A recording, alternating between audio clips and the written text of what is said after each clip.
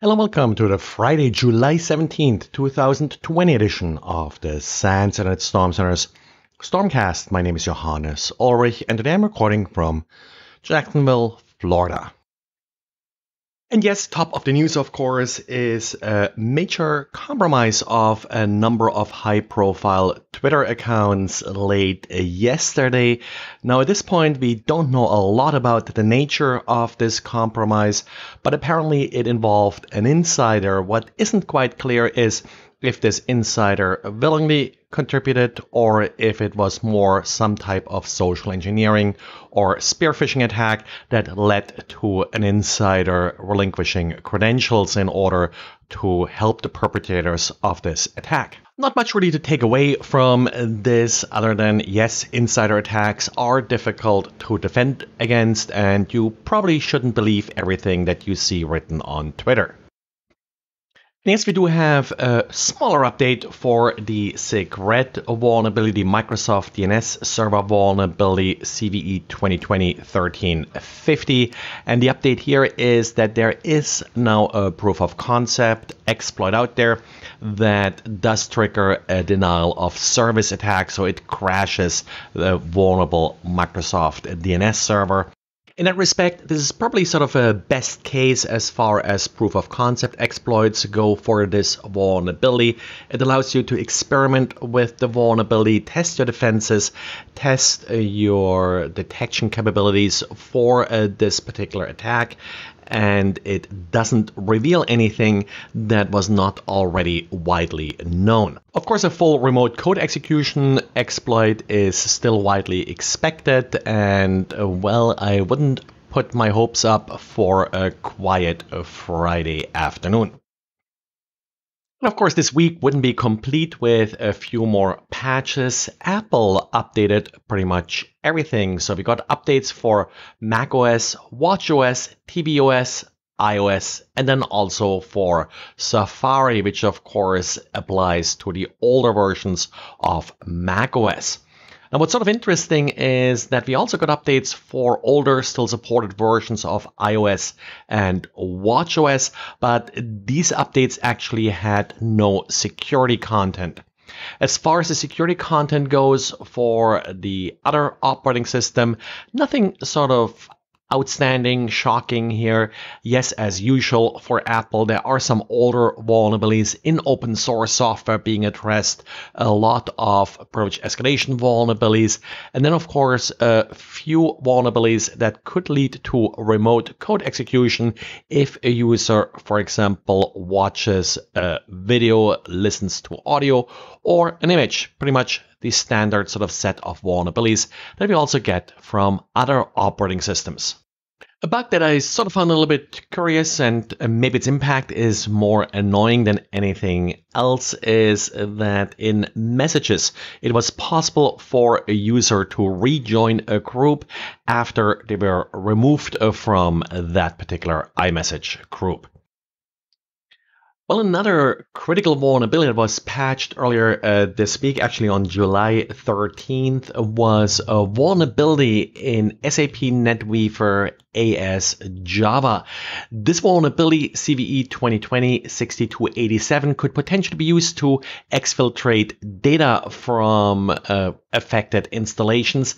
And yes, we do have a proof of concept for this vulnerability now as well. According to the uh, GitHub description of the vulnerability, and I had no chance to test it myself, well, uh, this proof of concept does not actually launch the remote code execution uh, or the user creation functionality that uh, this vulnerability allows for, but it will just show if a particular server is vulnerable or not. So definitely pay attention to your SAP servers. And uh, while this and it looks like uh, this exploit is already being used in the wild to scan affected systems. Well, it's Friday again, so I have with me a SANS EDU graduate student who worked on a research paper. Aaron, uh, could you introduce yourself, please? Hello, uh, my name is Aaron Elyard. I'm a cybersecurity systems engineer at the Pennsylvania State University and a candidate for the MSISE program from the SANS Technology Institute. So great. Can you tell us a little bit about your research? I think it involved Office 365, or? Yes. Uh, so my research paper focused on improving the efficiency of SOC analysts who are investigating Office 365 business email compromise scenarios. Specifically, it explored performing an investigation uh, using Microsoft's built in tools uh, versus using a custom developed GUI solution with PowerShell as its backend. So you actually set up a GUI solution that sort of wraps around all of these PowerShell scripts that you wrote? Uh, so I actually wrote them uh, just for the paper.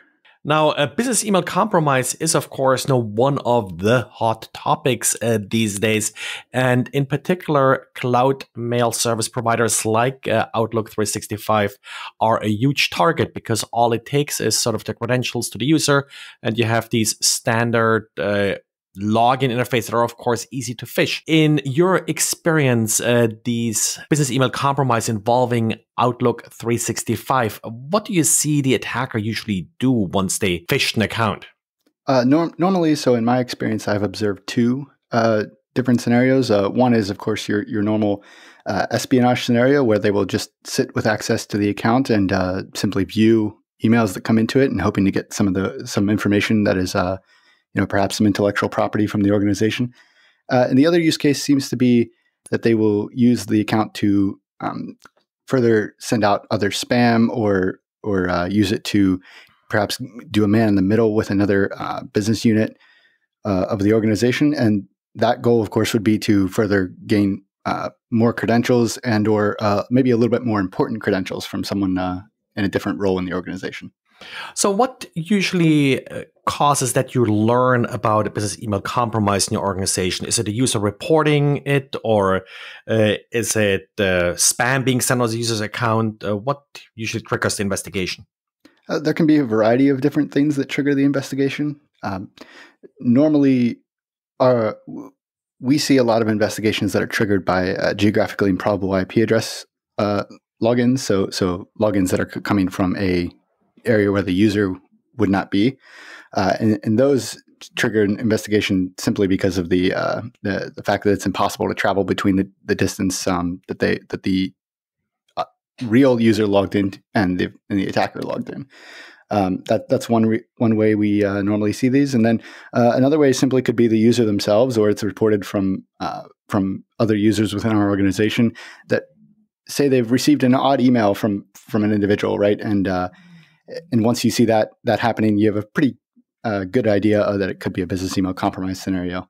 Your script and the GUI that you build around uh, it actually helps with the investigation of uh, these uh, business email compromise uh, incidents. Can you walk us through sort of some of the things that these scripts uh, automate for you? Yeah, sure. So um, the the tool is named Kit. Um, it's it's simply a, a, reference to Knight Rider, uh, no fancy acronym, and it was built using PowerShell Studio. Um, and the idea really was to be uh, an open source uh, platform uh, for business Office 365 Business Email Compromise.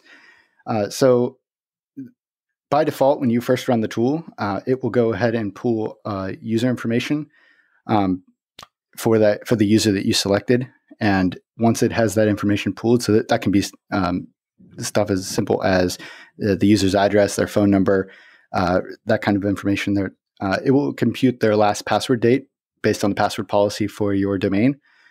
Uh, and then it will also go ahead and pull the inbox rules for the user and uh, their Azure AD sign-in logs for the last month.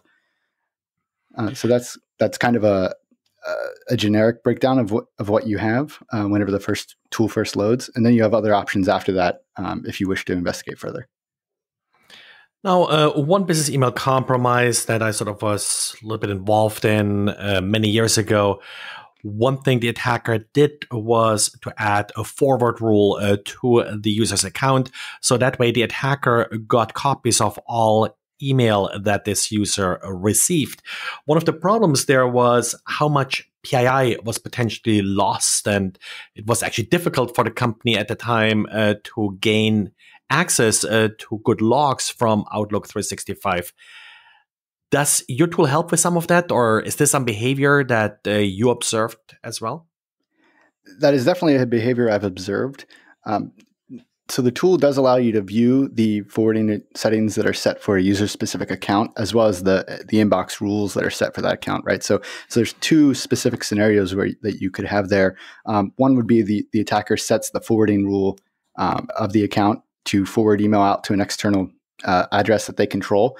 And the other is that they simply set up a, an inbox rule to forward any specific email um, you know with certain keywords that they're looking for. And so as far as the the first scenario goes uh, there isn't great logging um, to state what the the attacker was sent, other than looking at message trace logs uh, for your organization to see um, what email was sent out to this uh, to this uh, external email address that's controlled by the attacker. Uh, for that second scenario, where they where they have an inbox rule that forwards certain emails um, with you know with generic keywords that they could be looking for, uh, that's really going to, you're just going to have to do a, uh, some form of investigation on on the inbox and look for emails that might have contained that um, contain those keywords within the time frame that the attacker had access to the email uh, to the email inbox. Now, I know it's a bit beyond the scope of what your tool does. and You're really more investigating it, uh, but in investigating all of these business email compromises, any lessons you sort of learned in how to prevent uh, these compromises or what makes a user susceptible uh, to these compromises? Well, first and foremost, uh, and I'm sure every user uh, or every person listening to this has heard this before, but uh, it's two factor authentication all the way. Uh, that prevents a lot of these types of compromises when when the attacker is logging in from um, someplace they shouldn't be. Uh, two factor stops them mostly uh, dead in their tracks. Uh, the other the other thing um, that we've observed that can really help with these types of scenarios is disabling legacy protocols that don't allow uh, for two factor to be used. So these legacy protocols often uh, allow the attacker to uh, simply log in and test credentials, even if two factor is enabled for your organization. So it, it really almost does you no good if you have two factor deployed, but then also leave the legacy protocols up because the attacker can still uh, can still attempt to authenticate.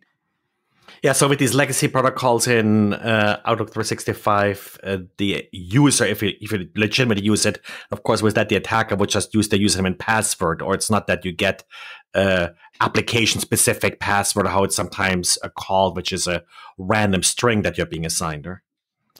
Correct. Correct. So, th- so these these uh, legacy protocols, often uh, we we see the attacker attempt to authenticate over over something like IMAP uh, or SMTP, and those are uh, fairly like fairly um, older protocols that don't support the the uh, two factor authentication. So once we um, see those kind of patterns, we uh, almost certainly uh, know that there could be a, a, business email compromise involved, especially if it's from a location where where a user is not is not normally located. What are you up to next? You still, I think, have a little bit of work to do in your uh, graduate program here.